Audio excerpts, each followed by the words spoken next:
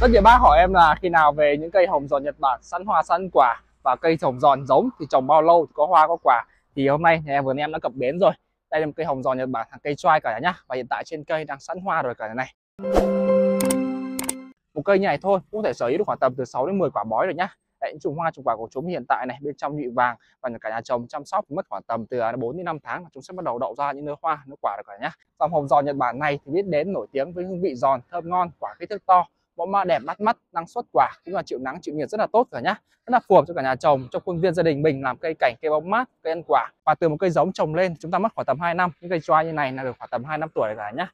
Rất là nhanh thôi, sẽ bắt đầu cho hoa và đậu quả bói rồi. Thời điểm hiện tại thì à, những cái hoa nứa quả của chúng rất là sai rồi nhá. Và chúng ta trồng chăm sóc thì cả nhà có thể tiến hành à, phun thêm một số chế phẩm để mà giúp tăng tỷ lệ đậu hoa, đậu quả của cây. Những cái chế phẩm chẳng hạn kiểu là canxi nhé và những cây này, những cây choai như này thì chiều cao của chúng là khoảng tầm một mét một mét hai. Nhà vườn em nhập khẩu trực tiếp cái bầu rễ như này đã thuần bầu nhá. Thuần bầu nuôi trong bầu từ bé rồi sẽ rất là đảm bảo ổn định. Về cứ thế là trồng chăm sóc thôi nhá. Hiện tại thì à, nhà vườn em đang có số lượng rất là nhiều. Những cây hồng giòn nhật bản hàng cây choai như này sẵn hoa như này cả nhá. À, nhà vườn em đang cung cấp với giá 600 ngàn đồng một cây như này. Sẵn đủ kích thước từ cây giống cây xoai đến cây trưởng thành. Cả nhà có nhu cầu muốn sở hữu siêu tầm dòng này thì liên hệ trực tiếp cho nhà vườn em. Số điện thoại zalo bên em là 092 692 2886 địa chỉ vườn em nằm ở phố Mậu Tài châu Quỳ Gia Lâm Hà Nội nhé